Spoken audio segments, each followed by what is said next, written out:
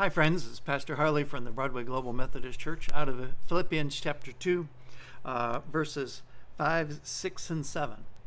Uh, Paul, having instructed us one way to live, he also then, uh, th- then goes to say this Have this mind among yourselves, which is yours in Christ Jesus, who, though he was in the form of God, did not count equality with God a thing to be grasped, but emptied himself by taking the form of a servant, being born in the likeness of men he takes us all the way to Christmas and says, if you want to know how, how living in the pattern of Christ is, is, um, is even though Christ could, could make claim to all the, all the divine honor and glory. In fact, he had all the divine honor and glory, but he set all that aside, emptying himself of, of that aspect of his, of his life and took the form of a man.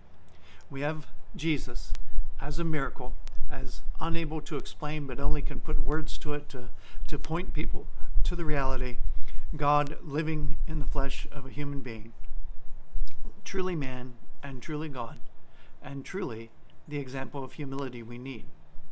Uh, many times our hearts will, will tell us, I deserve better. Uh, I deserve that praise. I deserve that credit.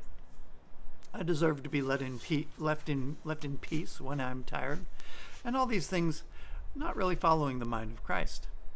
Mind of Christ is that He had heavenly rest, repose, glory, acclaim, and all the honor that there was, but for the sake of hurting humanity, emptied himself of all that and became as one of us. This is the mind and the attitude of Christ that Paul points to.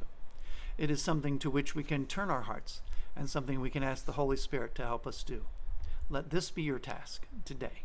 Amen.